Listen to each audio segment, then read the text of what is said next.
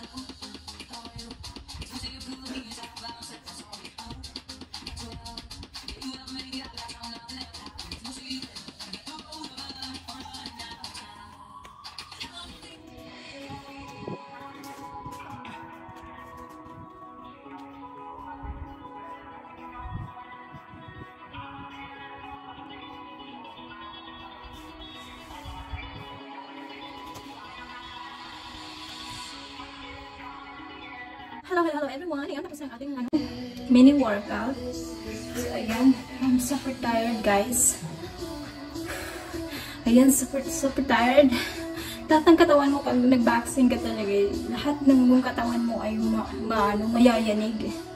So, ayan. I'm almost puking, guys. Almost. Talaga gonna puke. Excuse me. But, ayan, tapos na tayo. So, pahinga na tayo. Drink a lot of water, of course. So, ayan. Ayan, Hershey.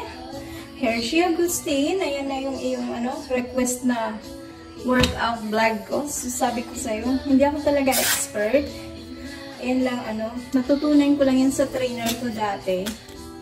So, most of it, you know, medyo, uh, two months na ako yata 2 or 3 months na akong hindi masyado nag-workout. Kaya um, I almost puke today. Dahil nga, in-overpower ko. Yan. Energy. Energy. So, ayan. So, ayan guys. Uh, this is, uh, let me drink water. A.